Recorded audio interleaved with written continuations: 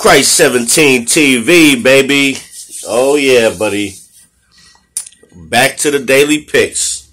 It's my last daily pick till I get to my next destination. I'll be in New York in a couple days. Gonna do some picks from the East Coast, baby.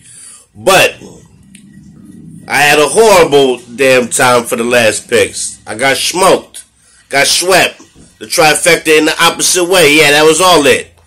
I lost a buck fifty. I had the parlay with the Thunder plus seven. They covered. The Devils m- money line hockey. They lost. The Rangers money line. They lost. The Maple Leafs from up north Toronto, where they got the syrup. They lost. Lost $40 to win 305. The 40s wiped off the map. Then I went for the World Baseball Classic.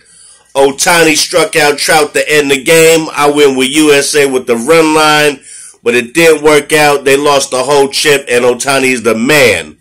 He's definitely the man. They smoked him. Pitching always beats better batting. And the USA had nobody pitching that I ever heard of. So that one, I lost 45 to win 47. Wow.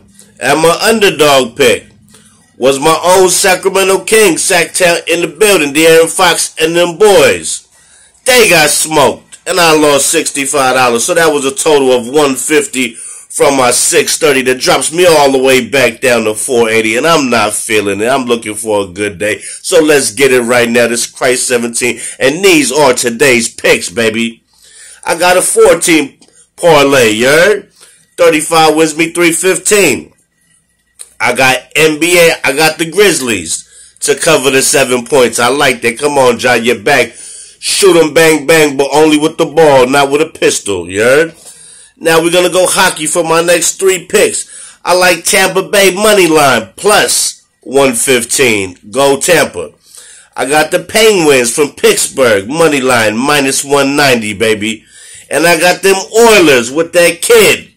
McDavid, you the man. Minus 120. 35 wins me 315.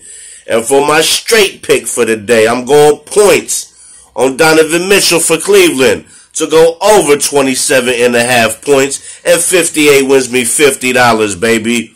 Now we're going to go for the underdog. And here we go, baby, for the underdog. I like the first half of the Miami Heat. Money line plus 140. So $45 wins me 63 bucks. I'm just trying to build it back up. Slowly but surely trying to get to that rack attack. You know what I'm talking about? Yes. But like I always do, Cryse 17 does not promote gambling. Does not promote betting. So if you find yourself selling your food stamps to pay back the bookie, my dude, you might have to call the 1-800 number cause you might have a problem.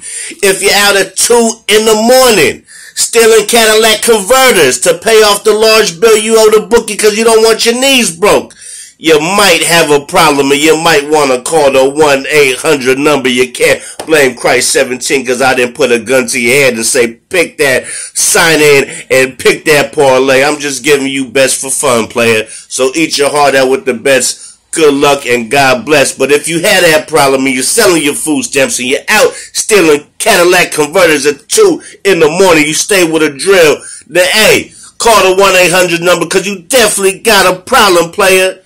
Cryse 17, let's get this money. God bless. Let's build the money tree to the top and it won't stop.